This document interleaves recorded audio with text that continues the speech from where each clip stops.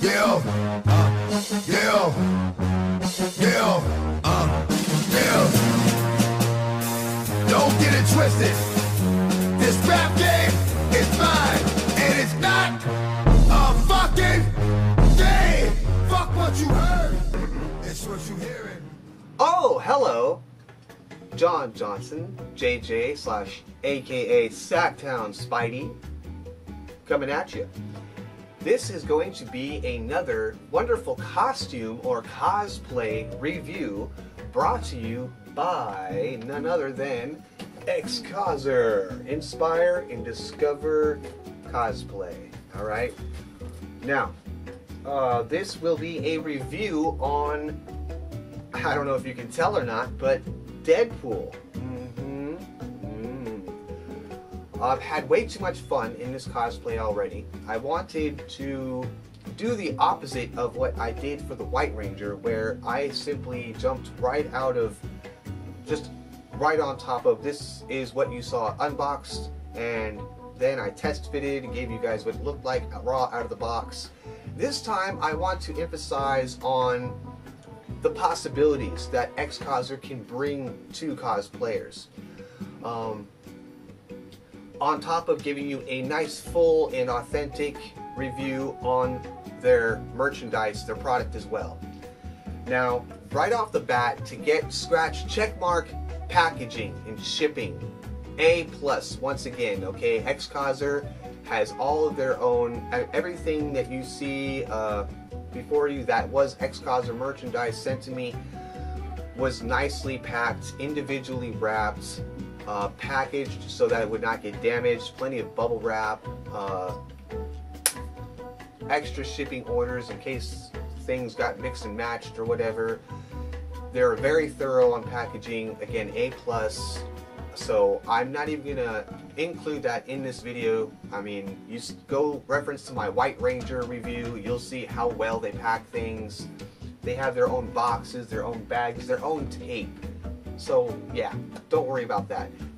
The other point I wanted to point out was tailoring or custom uh, tailoring or having a custom size suit done by the company. I gotta say it, I was impressed with the timing that they had for the actual suit itself. Now here's the actual suit itself. We have top piece and the trousers or the pants as a second piece. Now you can opt for a whole one piece they have a one piece option or they have a two piece option. As you'll see on the website here. Here you see Deadpool, very decently priced. We're about to go into the quality and details in a second, but as you can see, there are plenty of options for customizing and getting it down to the exact size that you need.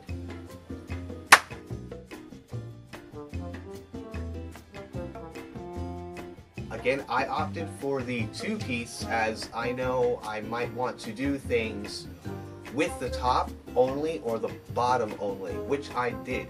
Recently, if you've seen the recent movie trailers uh, for the Deadpool 2, you'll see here I featured my Bob Ross Deadpool and having the ability to use the top portion of the suit in conjunction with other accessories to create a different version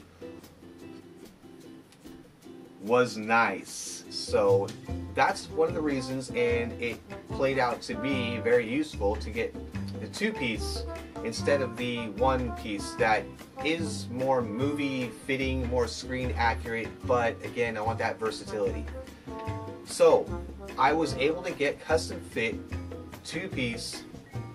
They don't, I've noticed they do not do custom tailoring for the one piece they do take a basic size, but I've noticed that their basic sizes are pretty accurate and they fit. So if a medium, you order a size medium, you know that it's going to be a size medium. It's not going to come out to be a size large like I've seen from some companies. That's another plus and another uh, thumbs up factor to XCOSER. I opted for everything that XCOSER has to offer to complete your authentic Deadpool cosplay. Right off the bat, accessories like the guns, any kind of weapons or small toys you see here are mine. As you can see, I have already featured this cosplay at a convention, uh, going out to an ice skating ring. Uh, also, just recently did a photo shoot, which was kind of new to me. But nonetheless, this uh, entire cosplay has been put to use. So, in this entire video, you'll see evidence of the suit itself being put to use, and it's uh, well worth. These pictures you're going to see right here were done at SAC Anime recently, and it's a perfect example of the, the, variations of the accessories that they sent and how you can use them. Here we are, this little square section right here. All this black tactical gear was sent by XCOSER. I want to start off right away with the sword mounts. That's right, two typical katanas on the back of Deadpool's back that he always has in the cartoons, comic books, and movies. This right here was actually one of the really cool. It is made of a leather and pleather. Uh, there's some padding in there so that this isn't going to be horrible. The swords will not feel horrible on your back. It actually holds them so that you do not even feel it. All I feel is a flat plate on my back. I don't feel the swords at all, which is nice. I've used really other cheesier back sword holders of the same quality, but they just were horrible. The swords were digging in, uh, the straps wouldn't wear right, so for being a and those were official martial arts that was official martial arts gear that I'm talking about. While this from XCOSER worked better. How about that huh? There are no knives there are no guns. All of the small actual accessories to go inside of your tactical gear is not included. You have to go do that on your own. But the tactical gear itself that they sent I was impressed with. A main waist belt that attaches two leg holsters. Left leg, or the left side, you have just a main pistol pocket, right, with some mag, magazine pouch, etc. But there's all kinds of little areas that you can stick knives into and, and beef that up. On the yeah, that's on the left side. And then on the right side, for the right leg, we have a more complicated webline strap system, we have pistol pouch with, again, a form of a magazine holder or accessory holder, and then an actual pouch pouch here. Alright? You're going to see how well all of my accessories and how I put it all together when I do a full-on suit up here in a minute. So let's just toss all this aside. Right? Script. They also sell a lot of these accessories separately. Now, let's get out of the way all the other details other than the tactical gear that they include with this cosplay to really help finalize and seal the deal on creating a cinematic and screen accurate Deadpool, such as the gloves.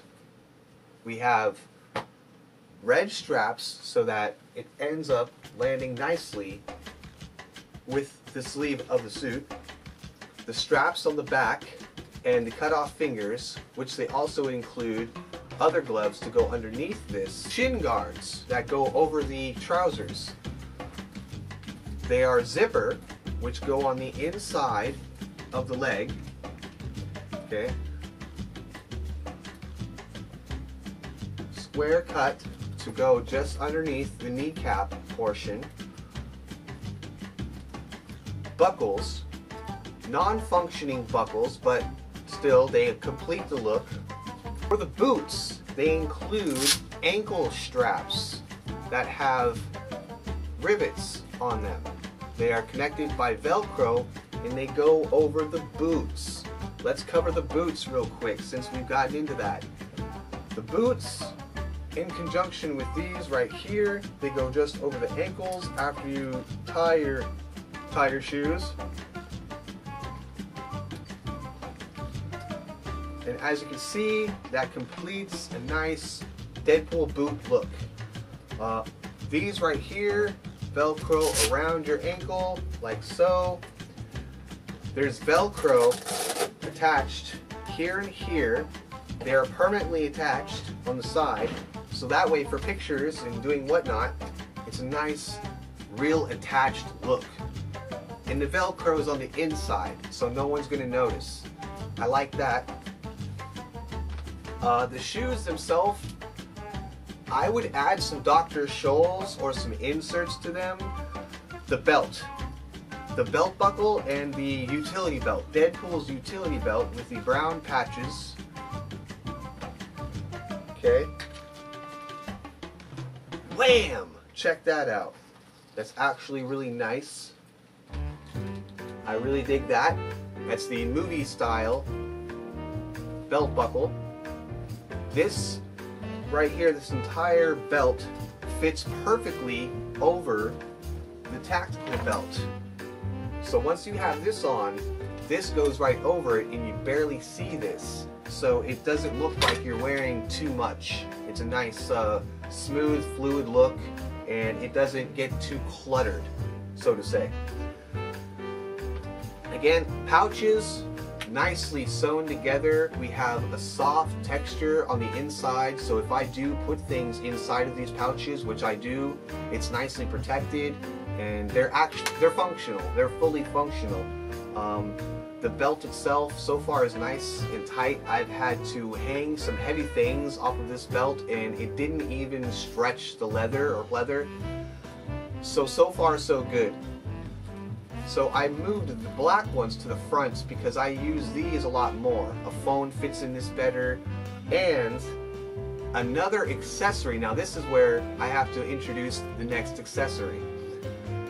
After the belt, the other thing that XCOSER has to offer for your complete Deadpool cosplay is the official Wade Wilson radio. That's this pocket fits this radio perfectly. Okay? Bam. It closes up and everything. Okay? So they really did think twice about their accessories, how it all joins and comes together. You can see that is evidence right there is a really thick plastic. It isn't unbreakable, uh, but it is sturdy and it has some flexibility to it so that, you know, if you were a skinny person and you had to really pull this tight around you, or if it was for a child or something, it has that flex to really go around your waistline. It won't just be a flat stick and then you're like, and then you have that gap because I've seen some that are made metal but they have no flex and then when you put it on if it's not curved and they didn't make it right there's a gap in your belt line and it gets in the way of holding up your gear and everything so once again that's a pro that's a plus to uh, XCOSER's Deadpool belt buckle alone quality nicely sewn the material leather leather inside the gloves we have some nice cotton fabric Let's dig into the mask itself. I want to note again, this Velcro was added by me. I super glued some Velcro to the back of the neck pieces where it comes together. So it wouldn't just hang and be loose. I recommend maybe adding a snap button or some Velcro like I have to one side and on the inside so that this will stay together and it will seal the deal around your neck and stay on. It's not too big, it's not too small. This is a one size fits all mask. With that being said, you don't have to worry about the way it looks on your head because when it's molded, it really has a pretty screen accurate mold. You can see where it looks like the ears are already pushing out on my metal stand. It's not too shabby. Now, it is a, again, this is like a latex or polyurethane rubber. The inside mask, the eyes have a black foam around them that does add some comfort, but again, this fits really loose. I have a very small head. This would probably fit the average person a little bit better than myself. Uh, XCOSER logo on the back. Again, there are always little small XCOSER logos throughout their gear. The eyes are a white fabric mesh. You can see, poke my finger through it. It's a very flexible white fabric. Nonetheless, once you put this on, it looks solid. In, in pictures, it looks just like out of the movie. So, I'm trying to think of numbers from 1 to 10 for each item as well. For instance, the mask, I give an 8. It's very suffocating. I do want to get a cloth mask to go with this whole setup later. But for now, this matches the color of the suit itself quite well. And it's going to be hard for me to find an independent maker to create a cloth one where I can actually speak and breathe properly to match the suit that XCOSER sent me. So this will still come in handy for when I get really picky on photo shoots and such. Um, also, I like the shine to it. Unlike a lot of cloth masks that I see, they don't have any shine. It's, or it's hard to get it unless you apply liquids or protectives on the outside of the fabric. Because this is a leather, or, my bad, because this is a latex or polyurethane, I can't tell. It already, it's rubber, so it already has a shine. Uh, it comes quite stinky as it is freshly molded. It's, it's, it's fresh from the factory. So give it a wash, give it a rinse before you wear it. Otherwise you'll suffocate yourself with latex smell. I think that covers everything about the mask. Um, I just wear a beanie with it or uh, I've actually rocked a face shell in it to keep it structured and tight and onto my head properly. And that's that. There's the mask. Final, well, I guess I could call this an accessory, but it's actually, this is a separate purchase that usually would not come with the Deadpool suit. This is a separate item to be bought. Nonetheless, this is also a sweet score from XCOSER is, that's right, the robe. Check out the Deadpool colors. Check out that shiny gleam on the fabric. It is, it's not a bathrobe fabric, unfortunately. Nonetheless, it's a nice, I actually like it better. Uh, it's that shiny, uh, smooth, kind of like a microfiber. Uh, it's still comfortable to wear and it drapes nicely. It's not too thin, it's actually weighty, so it it doesn't flail and bounce, and I have some dust and hair there. Uh, nonetheless, here, let me let me kind of give you a sprawl out look of this. Bam. There we go. Bam. And there's a pocket on the chest front right here. Of course, the robe tie to go on the waist area and this has already come in handy, uh, as you can see by some of my pictures here.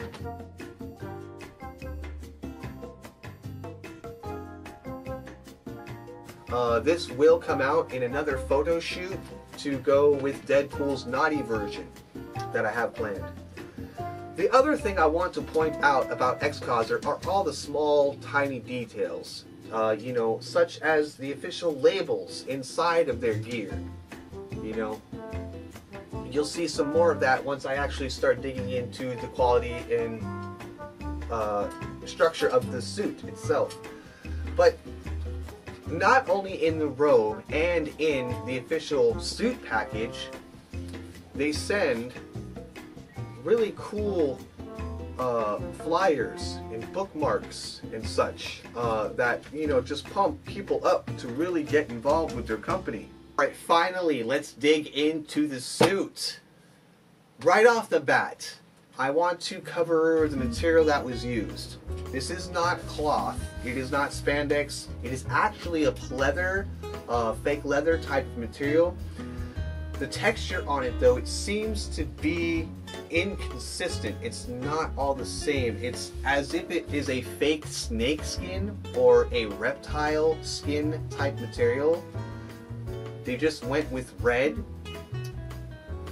like a red, again, snake skin or reptile type skin texture to create the suit look with a, again, just a black flat pleather for the black pieces. That's the front area. On the back, we have some mesh. It's just athletic mesh right here with some strapping to quick cover up the rest of the back. There are extra shoulder pads added to add that armor padded look that he has. There is a slight, ah, well here, in order to take this hanger out to show you the next detail, let's cover this detail. The entire thing is worn by zipper. You can't really put this on like a shirt because there's no stretching, there's no give to this. So you're pretty much forced to go zipper. And there's this entire extra layer with a Velcro piece at the bottom and a Velcro piece at the top to cover up the zipper. Once you open that up, take down the zipper, you get to the inside. That's keep you from being grossed out or, uh, you know, all that cold leather touching your skin. So it's nicely lined, in other words, very nicely lined, and I enjoy that factor because I was sweating like hell in this, uh, doing a photo shoot and at a convention. The other detail that I wanted to cover were the knife sheaths on the chest, just underneath the pecs. A, if you don't know, they're knife sheaths, okay? They're actually meant for these uh, fist shanker blades like this. I don't know the technical term for the type of knife, but it's this right here that is the supposed sheath. Now, never in the movie did I see anything in those sheaths. He only just had the sheaths on there, but I never saw a blade in it once. So I, I didn't cry too much when I saw these, that they're unfunctional. They're pretty much just for looks. Let me give you up close view on that. So as you can see, this is just a solid piece of rubber. This right here itself, this all is just rubber. It's simply connected by uh, some dowel, some metal dowel there. This is a little metal rod that keeps these two connected. Again, metal dowel underneath there. And it gives that look. Now in screen accuracy, this would be all black, solid, there's no gaps. XCOSER has simply done their own thing. It has their own little logo right there on the silver part, XCOSER. It's actually a nice touch to not get sued. um, while still having a really nice and authentic Deadpool look.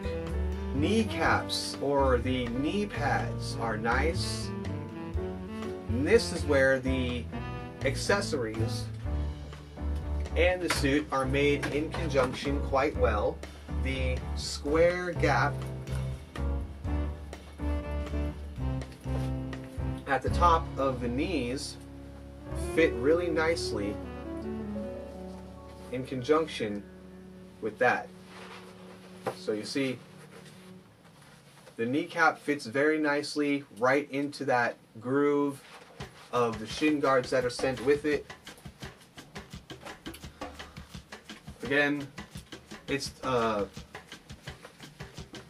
there's a layer on the inside, a cotton layer on the inside of this suit so that it still wears comfortably. You can wear it as is, although I wear a lot of layers underneath everything. I wear uh, sweat guard layers, athletic wearing underneath any of my cosplays to keep it fresh because I know I'm active in my cosplays. Uh, other than that, let's dig into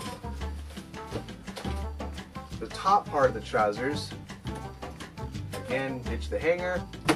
We have belt buckle loops, or belt buckle, we have belt loops. Uh,